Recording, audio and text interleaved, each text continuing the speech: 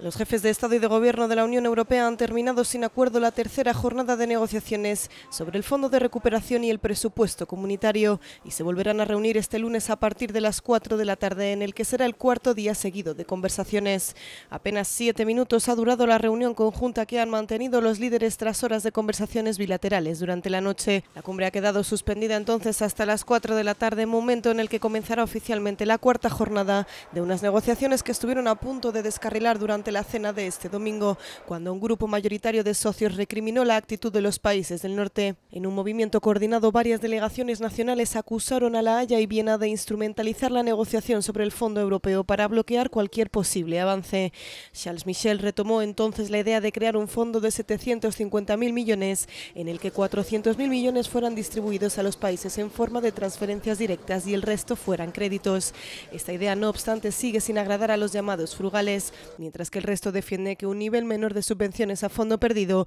no tendría un impacto económico suficiente. Las conversaciones se dirigieron entonces a una solución intermedia entre la última oferta de los países del norte para la parte de subsidios y la cifra que Michel ha puesto sobre la mesa. Así las cosas, los jefes de Estado y de Gobierno intentarán desbloquear la negociación esta tarde, cuando contarán con un nuevo borrador de compromiso preparado por el presidente del Consejo Europeo.